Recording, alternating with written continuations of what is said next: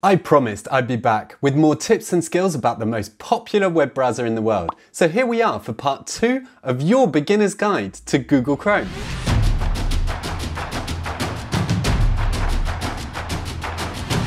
Hi there, I'm Guy from Web of the Week, and you're watching Guy's Guides, where I provide simple guides to the internet, the World Wide Web, and the online world in general to make sure that everyone can benefit from the wonderful resources out there.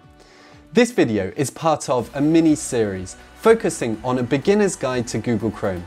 In the first video, we went through the basic features of how to use the tab system, the search bar, and the navigation buttons, without forgetting our magic wand, the refresh button. If you haven't seen that or want to refresh your memory, don't hesitate to go back to that video.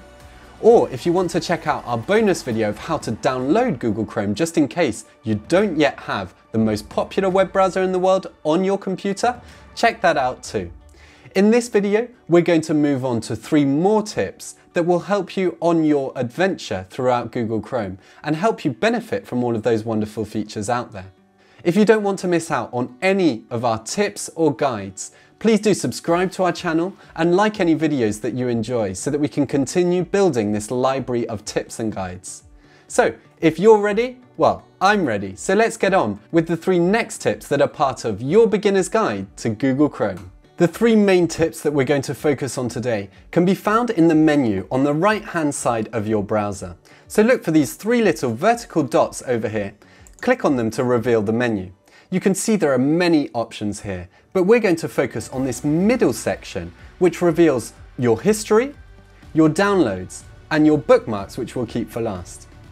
History is the first one that we're going to focus on, and the main advantage of your history is that it's basically a list of all of the web pages or websites that you've visited recently or a long time ago.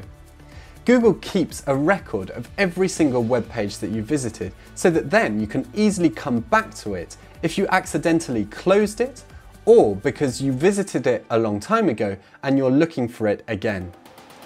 Now the first thing that we can see here is your tabs that you've recently closed. So this will be all of the tabs that you've closed recently by using the cross like the one up here.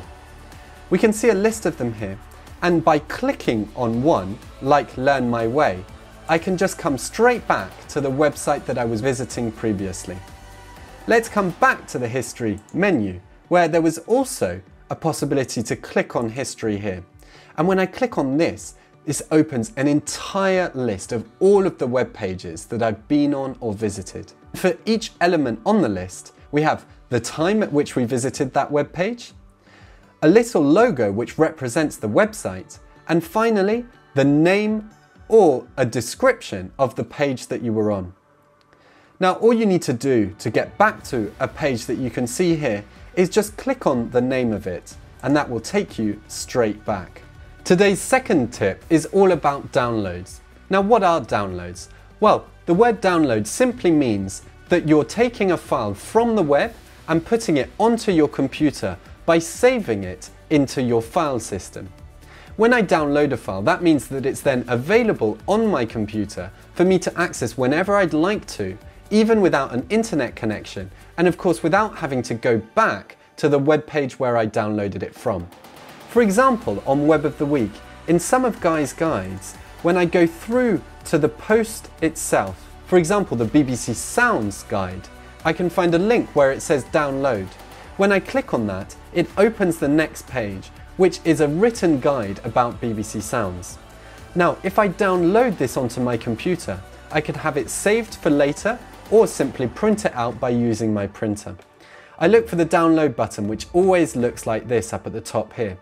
And when I click on that, it asks me where I want to save this file on my computer. So I can choose whichever folder within my filing system that I'd like to save it in, but let's just keep it in downloads for now and click on save. It may be the case that Google doesn't ask you where to save it. And if that's the case, then you just need to look in your downloads file, which is where Google will put it by default. I can see it's downloaded down the bottom here, but in a couple of months time, I may not be able to find it in my computer filing system. Well, luckily, Google Chrome provides an entire list of all of the files that you've downloaded on the web browser itself. And I can find those by clicking on the downloads file here.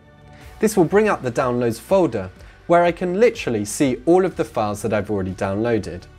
I can either show this in Finder, which will show me exactly where it is within my own filing system. If I have something particular that I downloaded and I know a rough name of, I can also use the search bar to find a particular file, like Guy's Guide to Zoom. And finally, if I click on the blue link up here, this will then open it so that I can either download it again or print it out straight away. The third and final tip is my personal favourite, and it's all about what we call bookmarks.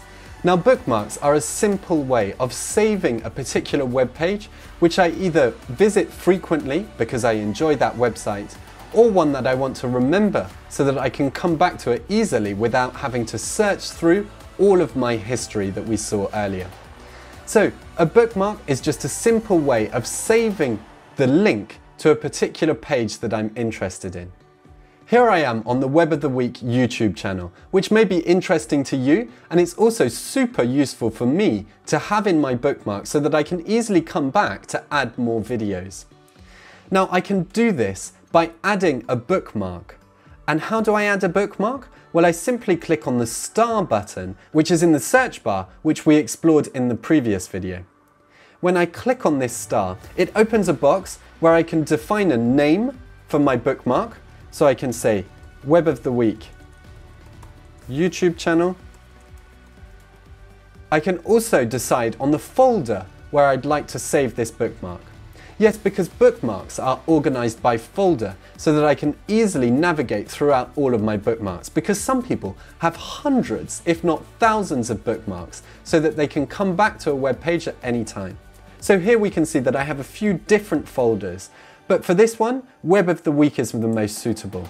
So I click on Web of the Week here and click on Done. This now means that I've saved this bookmark and I can easily find it up in the top bar of my web browser here which displays all of my bookmarks. I can either click on bookmarks, which will take me through to the page where I can see all of my bookmarks.